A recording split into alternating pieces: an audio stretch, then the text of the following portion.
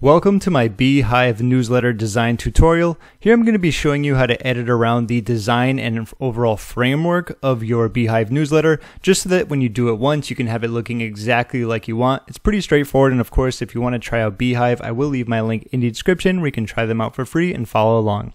Let's begin. So what you want to do when you're on the main dashboard here is go on over to the left, and if you click on design, it's going to bring down both of these right here. We simply want to click on newsletter builder.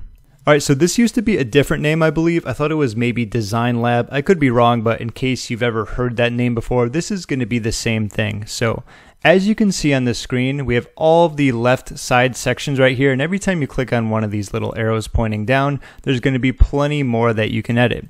The good thing about this is that this tutorial doesn't need to be too long because I'm going to give you my strategy for going over and kind of just changing everything to, you know, how it looks. First and foremost, let's just go through some of these right here. We have background.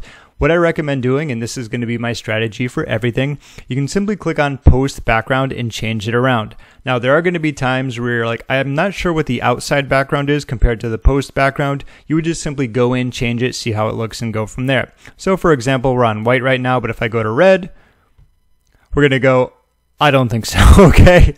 Uh, let's just go back here and keep it like that. Okay, so like corner radius, like for example, you're not always going to be able to see it depending on like what you have and if there's going to be a border thickness. It's just going to be coming to adjusting things, seeing how they look, and so on and so forth.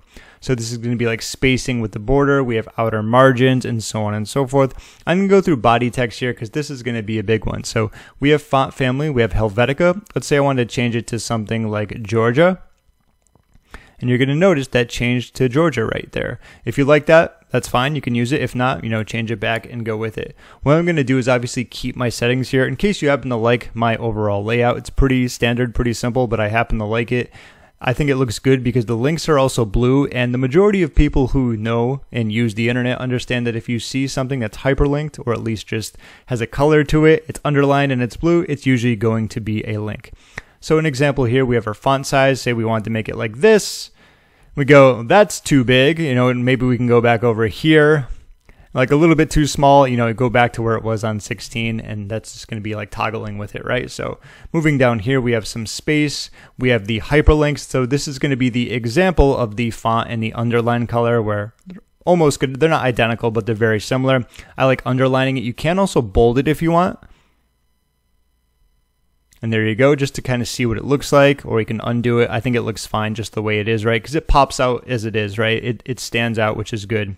We have header text here, so once again, font family, font weight, uh, the font size, the space between elements. If you're wondering, like, what does this look like? If it's three pixels, let's just make it really big. And you're going to notice it's going to be that space right there. So I think the three is going to be fine for that. And overall, I probably don't need to do too much more because this is just going to be going over. It's just repetition, right? So this was for the header one. This is going to be header two, as you can see here. And it has all the different headers as you go down. They mostly get smaller, H3, H4.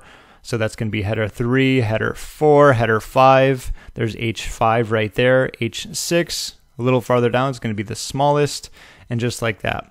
So you're just going to go through and kind of just go over the same thing here. Changing around the font, I'd recommend if you're going to use one font, probably keep most of them the same. You know, you can maybe change around the headers compared to the font family. It's going to be email footer. We have buttons, styles, colors, borders, and so on and so forth. But this is going to be how you can actually set this up so that when it's done, you don't have to make any type of visual changes to your actual newsletters.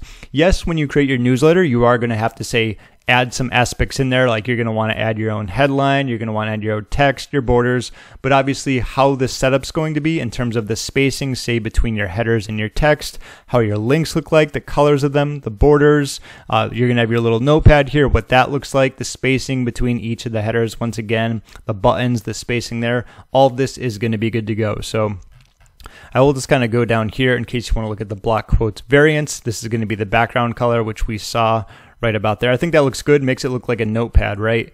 And there's going to be a bunch more with tables, embeds. You don't have to go through and do everything, but if there's something you do want to change, I think this looks fine given the fact that it is a quote. It is a little bit bigger, so it stands out. That's like the author, which is going to be optional. And that's going to be the very quick tutorial just to show you how you can edit that around when it comes to the newsletter design. If you have any questions, feel free to leave a comment down below. Something you can also do is just look at some examples of other newsletters that you might like just to kind of get an idea of something that you can model. Not copy, but model, inspiration from. Heck, if you want to use mine, feel free to. I love the standard and kind of basic look.